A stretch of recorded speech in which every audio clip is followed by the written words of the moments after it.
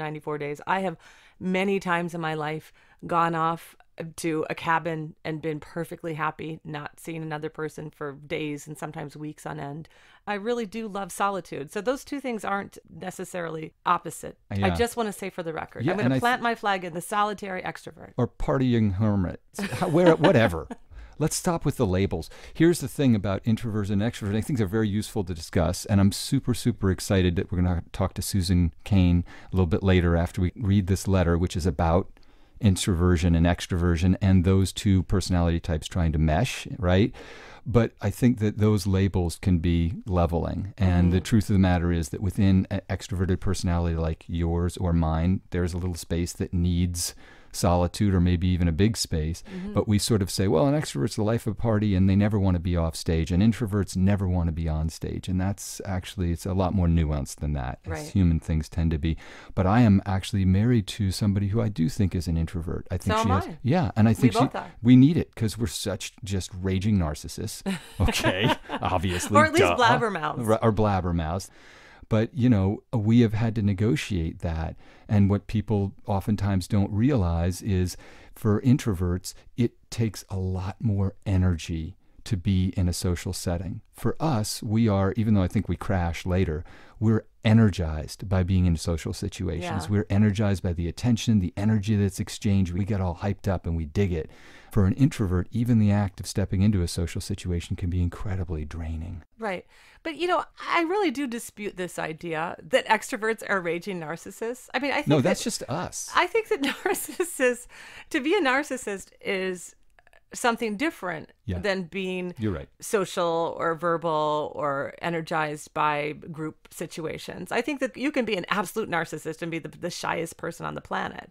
You know, those things don't go hand in hand. I'm just going to tell you. Yeah, you know, And we're gonna talk right. to Susan Cain later, and she's going to back me up on this. I think. She's going to school me. But you know, for me and Brian, it's interesting because you know he is absolutely quieter than me, and it's never been a conflict. I I will say the only time it's come up with us as a couple is sometimes we're in a group situation, and I'll wish that he talked a little bit more.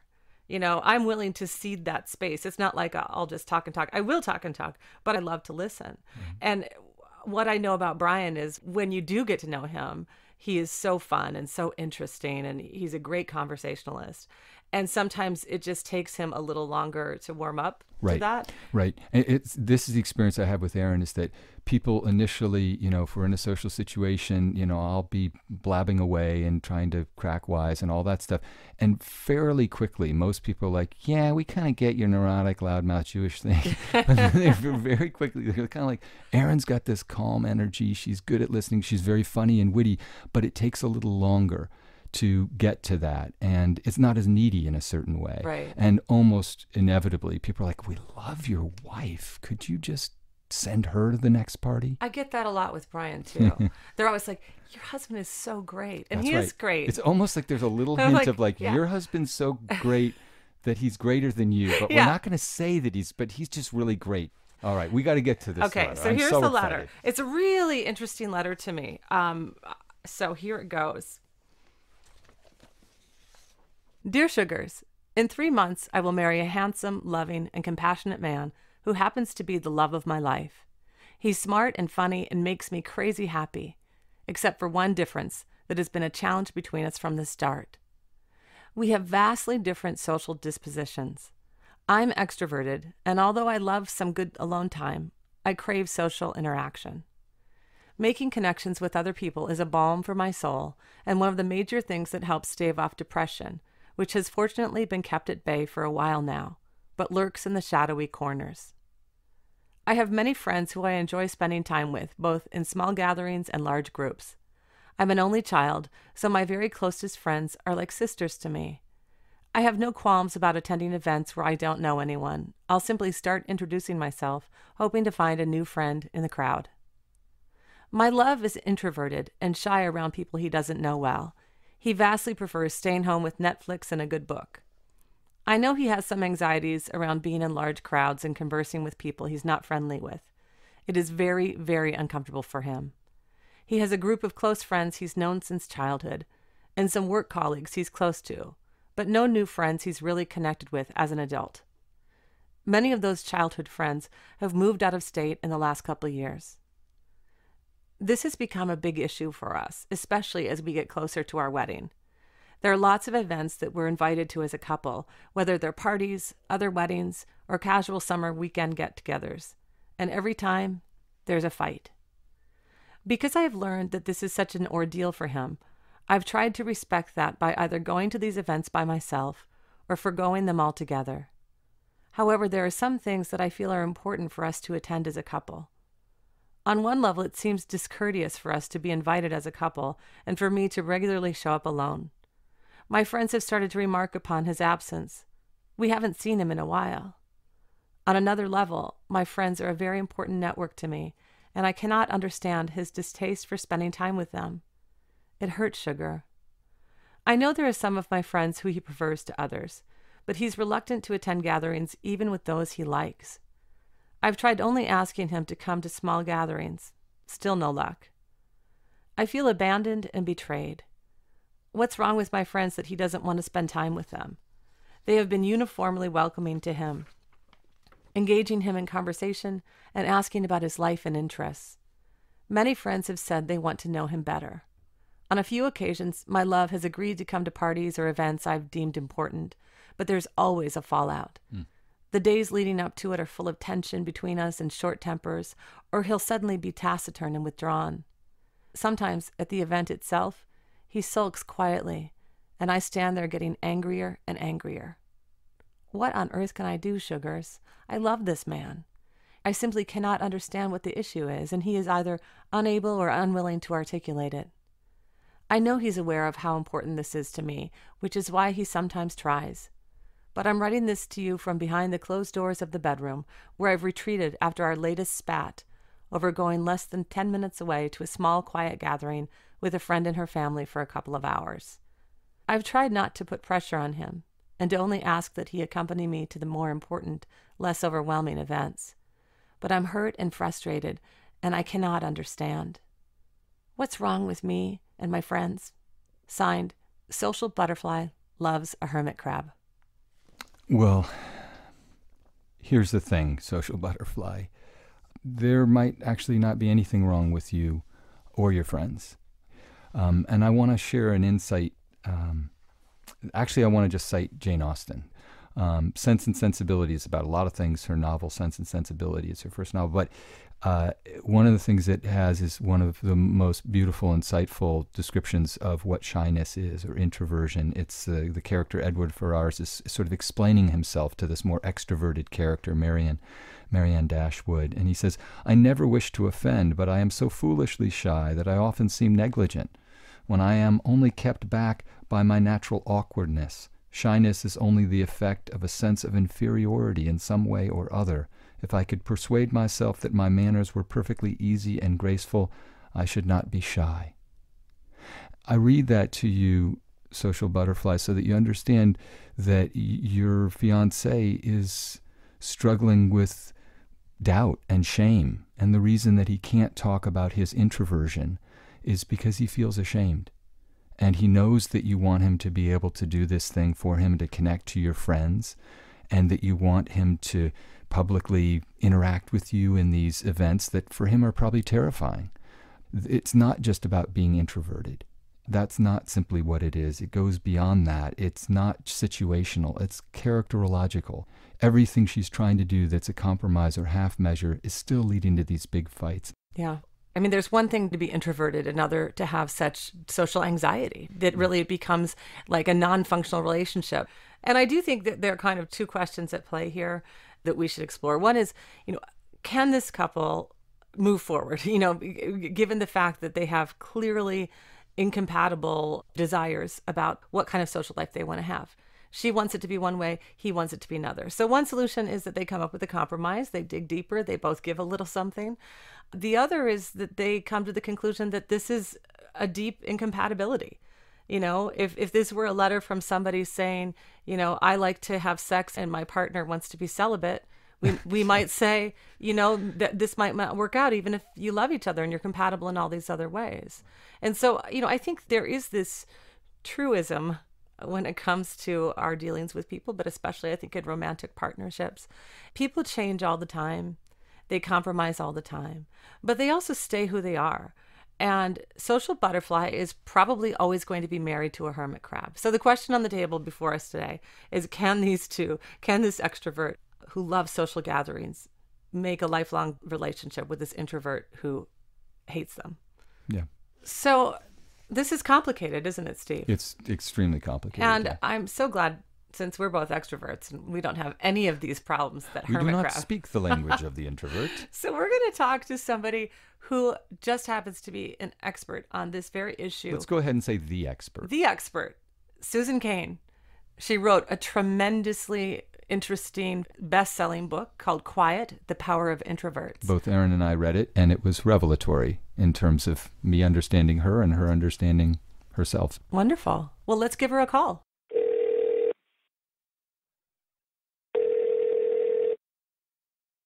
Thank you for calling the JW Marriott San Antonio Hill Country Resort and Spa.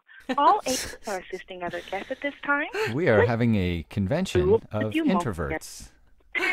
Please go straight to voicemail. Moment.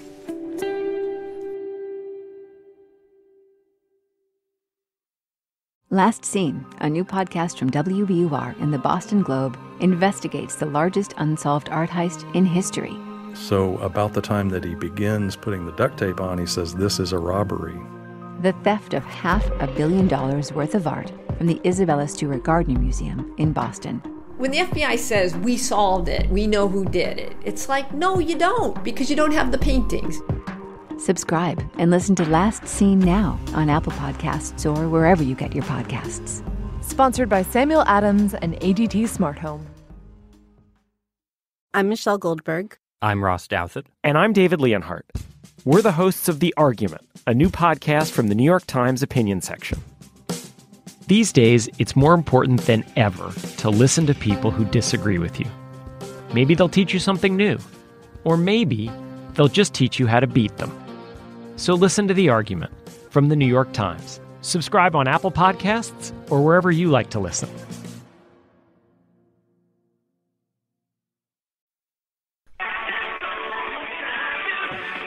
Yeah, we're back. Hello. Susan, Hi. this is Cheryl. Hi, Cheryl. How are you? We're good, but where where are you at some spa and resort? Oh, you know, I never really know where I am, but um, it, it's San Antonio, Texas. I just got here late last night, gave a talk that I just finished. Susan and I, we met. We're we're on the same trail, the lecture circuit, Mm-hmm. Mm. and it's probably harder for you than for me because I'm just a big extrovert. I'm an extrovert, but I like to be alone. Oh, yeah. No, I hear that from so many people. I know. You know, and before you got on the phone, Steve and I talked about this. Um, that there aren't just like two camps of people. You know, introverts are this way and extroverts are this way. I think most of us have a blend. One of the situations we've got with this letter that we're considering, the social butterfly and who's in love with the hermit crab, is it sounds like at least their self concept is that they're on two extremes. Yeah, yeah. No, that's so true. And I mean, either maybe they really are extremes or just, you know how it always happens in couples when you have any kind of disagreement?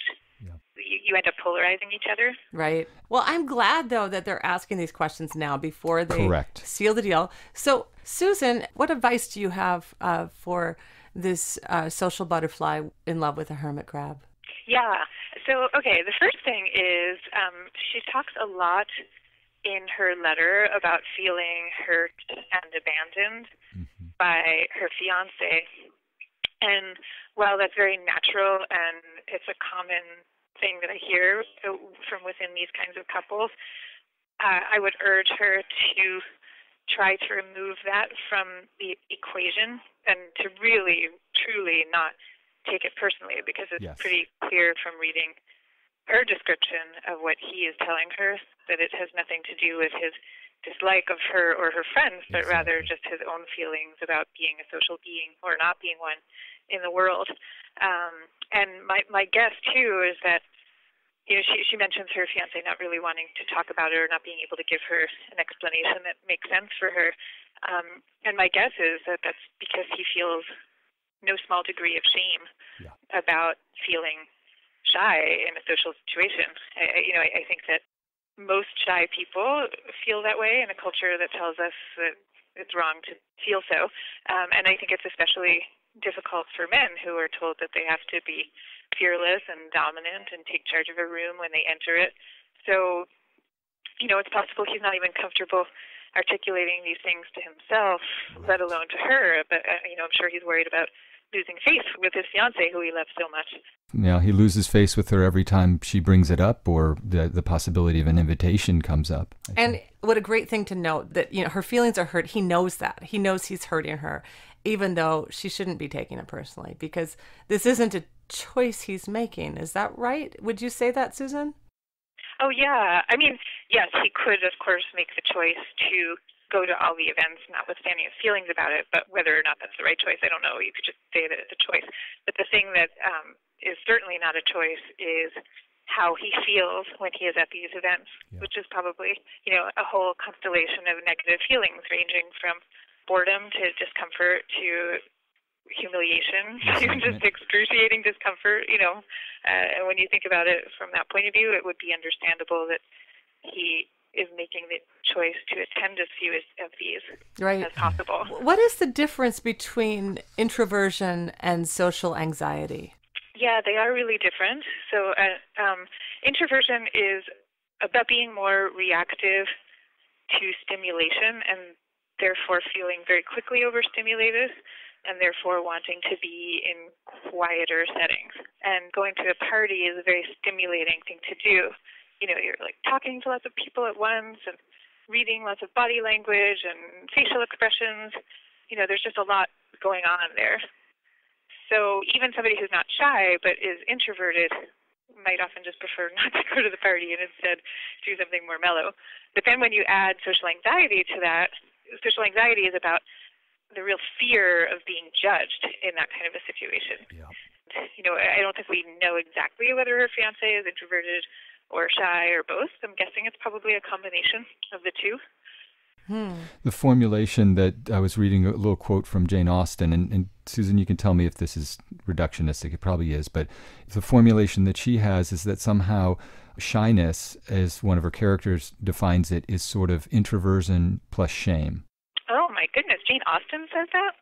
That's fantastic. Yeah, I'm breaking it down a little bit. That, you know, this guy at a party, for instance, is feeling all of those things, but he's also feeling resentful because he feels like his inferiority in those situations is being exposed, and the mm-hmm. instrument of that exposure is his fiancee. Of course, she just wants him to be happy and she wants to show him off. I mean, her motives are obviously good and pure, but wow, what a intractable conflict because he winds up feeling terrible about himself and then gets sullen and resentful even before they've gotten to the party, if they get to the party.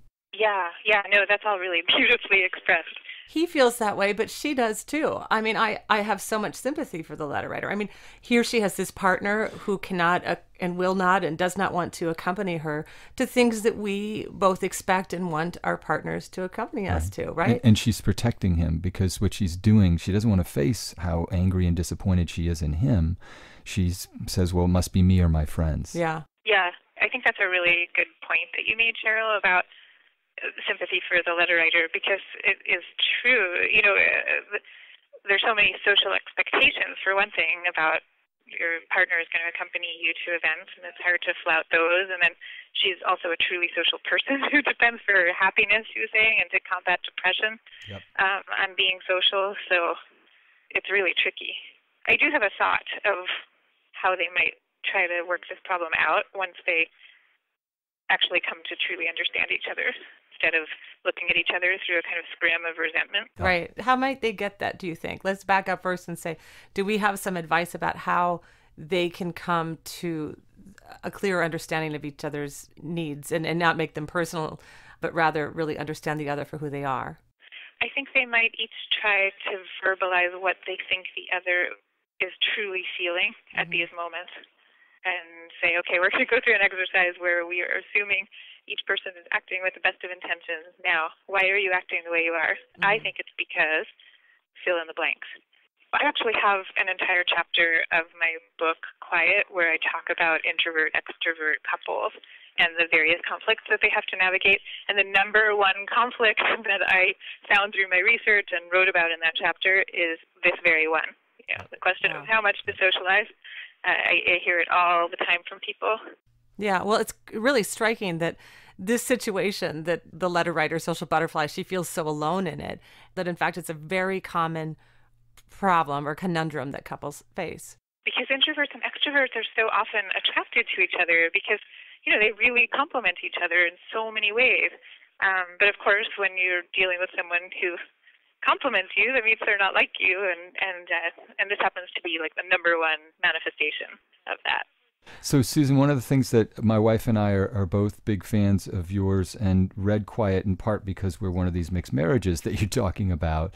Um, and one of the things that I so appreciated that I want to uh, try to uh, make Social Butterfly aware of, because I think it's part of what makes your book so special and the reason it's resonated with a lot of people is you're talking about something in terms of introversion versus extroversion that doesn't just play out in personal relationships, it also plays out in the culture at large. And one of the concepts that I was so fascinated by is the historiography that you go through, where you know, in the 19th century in America, there was something called a, a culture of character, right? Yeah. Where what determined our sense of worth was really played out in private. It wasn't performative. And as you saw late model capitalism do its thing, we became and have become increasingly, and I think the internet has only sent this into warp speed, a performative culture where there is this constant expectation that what gives you value is how you come off in public and how well you perform, whether that's job networking or even to some extent all of the parties that now have to accompany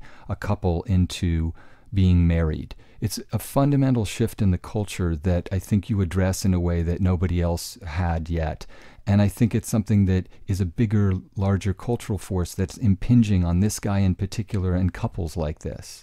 Yes, I think that is exactly exactly right. And um, you know, in the older days when we still lived in the so-called culture of character, there were more socially desirable models of how to behave that were available to shy or introverted men because um, the the idea was kind of the strong silent type who was a man of quiet integrity was a much more prominent model of being in our culture. I think the good news is that that model is still alive and well and I'm guessing there is some aspect of that in hermit crabs that social butterfly is attracted to. That's right. You know, if you look at the way she describes him, he, he sounds like a really good, strong guy who's caring and has great principles. And she, makes her crazy happy. That's and he, right. And, and he's funny. And part of what she's probably saying is, you're this incredible person. I feel this way about Erin all the time. Like, I want you to take all of your wit and your compassion and your empathy and everything that I see all the time you know, I want my friends to see that. I want to show you off. I want that person to be in a public setting. And what Social Butterfly probably needs to recognize is that's uh, at the moment very difficult for him. Yeah. So, Susan, once they have that understanding, or at least come to a place where they're talking a little more openly with each other and less defensively, what advice do you have for them? How, you know, how do couples with this kind of incompatibility make it work? Well, they really need to negotiate in advance yes. an agreement yes. as to how many social engagements they are going to do per week, per month, per year, uh, per major life event. Not all social events are created alike, and there may be some that he's more comfortable with than others, so they should talk about that. Um, they should talk about once they're at the social event, what what is the way of navigating that social event that's most comfortable for him for some people they would love to have their spouse by their side and other people would that would make them feel self-conscious. So you can't know unless you start to be able to have this discussion in a very open way and then just stick to that. Because it sounds from reading social butterfly's letter as if they are getting into an argument each and every time. Every time. like each one has to be fought anew as if they're fighting it for the first time. Yeah. And you know and if he knows that she's not going to be asking them to go to every event, and and rather they're going to go to the number that they've worked out. Um, let's say it's one a week or one every two weeks or whatever it is. Um, she described him as sulking. I think he won't feel that way. Just they'll be doing it within agreed upon parameters. Yeah. And the reason I, I I recommend like going through that process of talking about all this and trying to negotiate it out in advance is then I think they'll have a better chance at having a clear idea of okay, even in its best version, is this something I want to live with or Right. or can I just not do it? Yeah. Right. I mean, it's one thing, but it's one big thing that's going to repeat itself all throughout their lives. True. You know, it's a big deal. I think that when I read this letter, I was really concerned about their compatibility. I do think that people can work around this, but that you know, it it, it isn't easy to be in a long term partnership um, when there is such a, a sort of a deep divide between your preferences. And many, many marriages have succeeded in spite of those differences and, and in some ways thrived because of them, and many have failed. And so I think it's a really great idea, Social Butterfly, for you and Hermit Crab to really address this deeply before you make that vow to marry each other. That's right. Does this strike you, having read this letter and thought about it from Social Butterfly, as a, a couple that um, is is extreme on the spectrum, or where there's the possibility that this really might be too much of an incompatibility? You know, I think we don't know enough yet to say Right. because it seems to me that right now they're so mired in not fully understanding where the other one is coming from Right. that it might be that that lack of understanding is kind of um, polarizing their positions, as often happens within couples. So I think we can't really know yet. Um, but like you know, if it really is true that she, you know, really wants to go out kind of all the time, and he really never ever does, um, that starts to sound more extreme. But I wonder if that's really true. Right. Yeah. Right. I will say one thing I was really encouraged, and I think Social Butterfly, you've done great work in this regard, is she does say, look, I don't ask him to go to everything with me. I try to pick and choose the ones that are really important. And I think that true. that's, you know, I think what I mean by that is she does have some consciousness about that. Of course, She's yeah. not writing to us and saying, What's wrong with this guy? Yeah. He just wants to sit on the couch. Right? Yeah. yeah. No, that's true. I think what people sometimes don't see though is kind of like um, how wildly different perspectives can be. Because Yes. I'm just thinking as we're talking about this of how I actually got married under a tree. and um, it was my husband, it was me, and it was two of our dearest friends who functioned as witnesses. And that was what we did, and it was one of the most joyful days in my life. wow. Um, so, you know, you compare that to like the whole different series of events. Yeah. There's just so much, so much variety of human experience. Right. Yeah, I think that most of us who are married or in long-term partnerships uh, will say that you know that thing that annoyed you about your partner, you know, in the early days, it, it usually doesn't go away. It's usually that thing that will continue to be, you know, the flaw that you see in their character, or the or the place where you're not as compatible with them as maybe you wish you were. Um, and you know, so I think you do need to come to terms with that and say, now, is this is this a level of incompatibility that I can deal with? Or am I going to be really angry in 30 years at this partner who didn't go to every wedding and potluck with me? Yeah. And for Hermit Crab, like, am I going to be angry that I was harassed all these years to do these things I didn't want to do? Right. Um, neither one of Yeah. them is right or wrong. They each have their lives. And so, you know, are they willing to carry the burden of that disappointment? I think that is a really good point. Um, and just as we were saying earlier, to try to remove the shame from the discussion of temperamental differences, to also remove the shame from the personal questioning that this couple should now go through. And if they do decide, you know what, this doesn't work, we're too incompatible, there's no shame in that. There's actually uh, great integrity in figuring that out now Yeah. Exactly. and making the right decision. Yeah. One thing that unsettled me in the letter is that Social Butterfly talks about how Hermit Crab's uh, group of close friends that sort of he's had these friends since childhood and some work colleagues he's close to, but he has no new friends that he's really connected with, and most of his childhood friends have, have moved out of state. Um, and I wondered about that just in the sense of the amount of pressure that's on the relationship. In other words, is that an issue of concern that you see, you know, in couples where one member is, is quite introverted, that there's extra pressure because really the, the spouse is his entire or her entire social life or most of his or her social life? Well, I mean, I suppose it could be, but at least from what we know from the letter, which of course is limited, it doesn't sound as if he's putting pressure on her to be his everything. Mm-hmm. It sounds more just that he doesn't want to go with her to her events. Right. So, you know, I, I think there are a lot of people um, who are completely comfortable to have one or two friends around and have their childhood friends who they chat with every so often, and that's fine. Um, there's nowhere that it's written that you have to have a big merry band of friends nearby and at hand all the time, as long as that's what you're happy with, and it might be that he really is. I had no idea it wasn't written anywhere. I've been living under that impression. Because we're extroverts. well, Susan, really, what an honor to talk to you. I think that you're awesome, and you gave us some great insight and wisdom in this conversation. And I hope that that Social Butterfly, you're listening to this, and go out and get Susan's book Quiet if you haven't already. I think it will be really informative, uh, you know, for both you and your partner to read together as you g- explore this question. Yeah, thanks so much, uh, Susan. Thank you so much. I love talking to you both. that was kind of awesome. I, I really have just one more thing I want to say to Social Butterfly. It seems to me that what we're circling around is that Social Butterfly, you have a really precious opportunity here. You're going to have to intrude gently upon the privacy of your husband's character a little bit. Fiance. Did I say husband? yes. I was being hopeful. But, you know, it's true, fiance.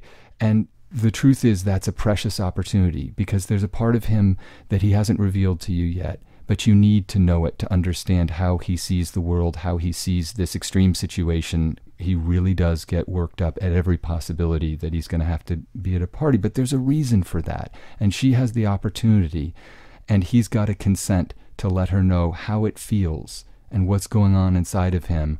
And unfortunately, that opportunity to know him better is also carries a profound risk, mm-hmm. which is the one we've sort of been brushing up against. That he will say, either I cannot articulate this and I refuse to, this is just how I am, or that he'll tell her, I find this excruciating, and she'll realize that it's more complicated. I think they can manage it because I think she loves him like crazy and I think he loves her like crazy. Mm-hmm. But he has got to and she has